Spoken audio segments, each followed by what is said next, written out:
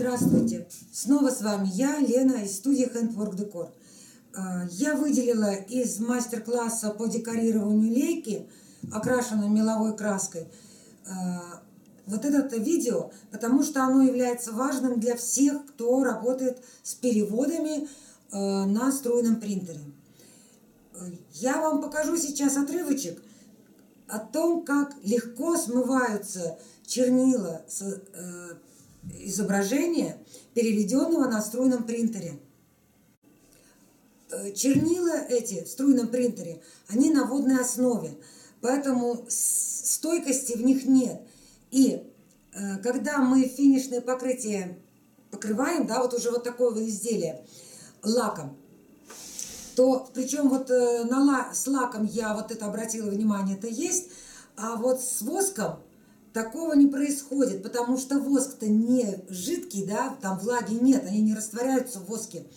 А вот лак, он состоит, э, он на водной основе и растворяет рисунок, переведенный на поверхность. Неважно, меловая краска, не меловая, на любую поверхность. Значит, наступил момент, когда нужно решиться смывать рисунок. И сейчас мы с вами смоем. Оставляю только бабочку. Нужно... Я нарвала чистые тряпочки. Почему несколько?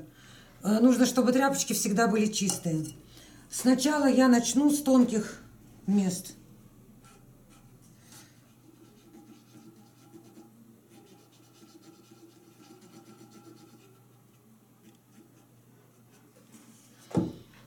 Так вот сейчас по буковке.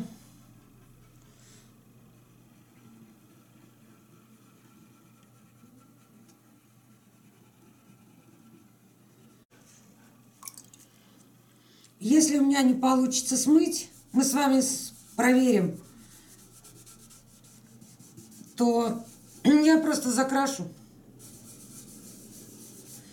Нет вот видите, она пачкается. Если я сейчас же этой грязной стороной буду возить, я просто буду грязь развозить. Я смочу. Видите? Теперь я беру чистую сторону. Выбираю чистое место тряпочки.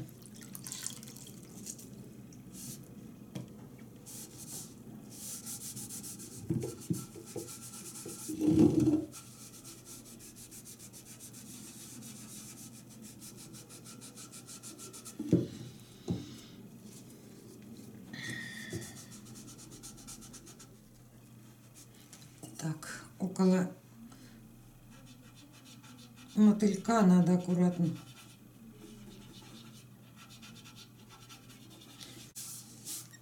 Вот заранее не подумала.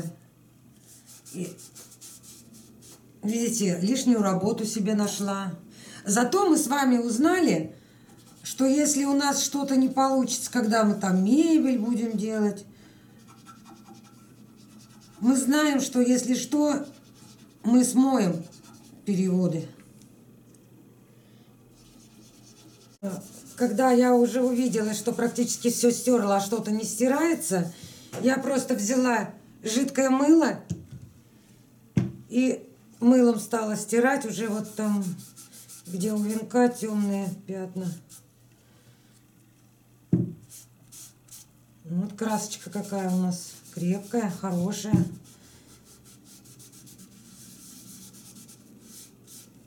Если бы мне мотылька не оставлять, я бы уже просто намылила да стерла.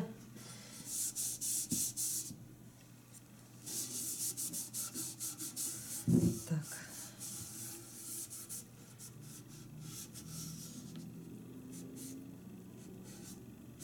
Я несколько дней, честно говоря, думала, что мне делать с этим рисунком. Иногда лучше, знаете, вот оставить.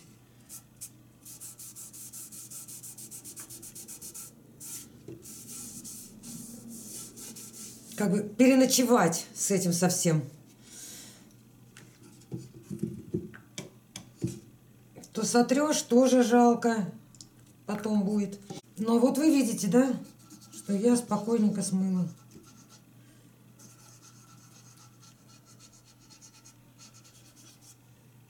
Вот. Сейчас мы просушим.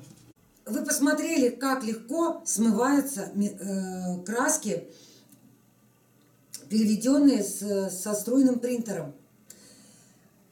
И сейчас я покажу вам секрет, как наносить лак. Мы с вами уже знаем, да, что э, красочки смываются.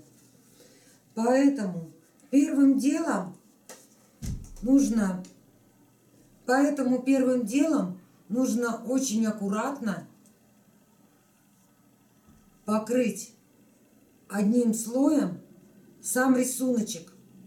Вот это очень важно в переводах на меловую красочку.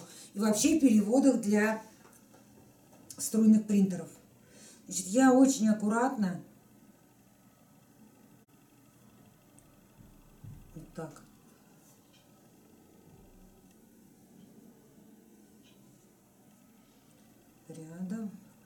тончайшим слоем буквально надо покрыть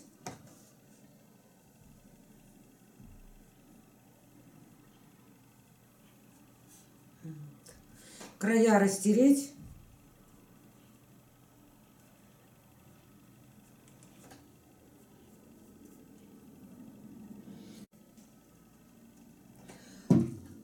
Вот. И мы сейчас подождем, когда этот первый слой лака высохнет.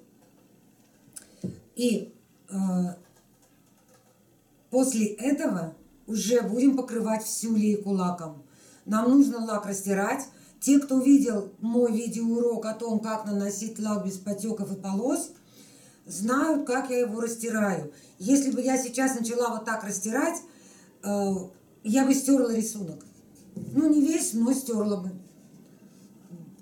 И сейчас покрою бабочку. Первый слой лака высох, но так как мы не могли его растирать, он у нас оказался с полосочками. Поэтому мы берем оберточную бумагу из моего видеоурока «Зачем художнику оберточная бумага» и шлифуем вот этот первый слой лака. Как долго сохнуть вот этому слою перед тем, как обработать э, оберточной бумагой. Значит, э, не надо ждать затвердевания лака. Вот он высох на ощупь, да, не липнет уже. Все, значит, можно уже э, оберточной бумагой его сглаживать. Если лак затвердеет, оберточной бумагой мы не обойдемся. Понятно? Я сейчас покажу поближе, да, вот как выглядит, какие полосочки остались от лака и э, как я зашлифую, и как мы э, удалим вот эти вот полоски. Так, вот я попробую сейчас вот так показать, чтобы вы видели, какие полосочки остались от лака. Вот. И я оберточной бумагой сейчас этот лак заглажу.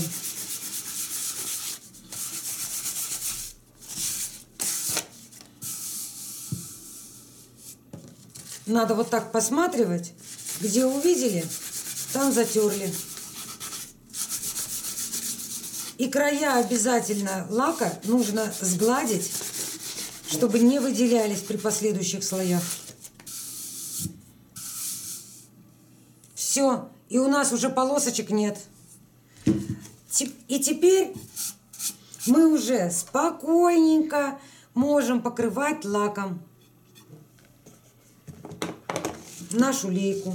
Так, ну пыль мы с вами знаем, что надо стереть после оберточной бумаги. Вы, надеюсь, посмотрите видео. И вот теперь я уже... Но все равно, пожалуйста, все равно с аккуратностью, потому что слой лака у нас еще тонкий. Здесь я начинаю растирать уже с усилием, как обычно. А вот здесь все равно понежнее надо. потому что слой лака еще тонкий. Мы как бы следующим лаком все равно растворяем предыдущий. Если вам нужно будет э, гранж сильный рисунка добавить, то тогда можете спокойно тереть. А при втором слое мы уже совсем спокойно, при третьем слое мы уже спокойно. У нас для общего фона это всего лишь первый слой лака. Вот. Это только для нашего рисунка он уже второй.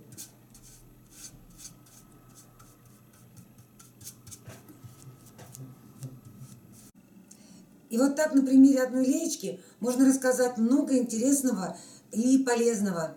Я думаю, что всем, кто занимается переводами изображений с использованием струйного принтера, этот э, мой маленький совет будет очень полезным.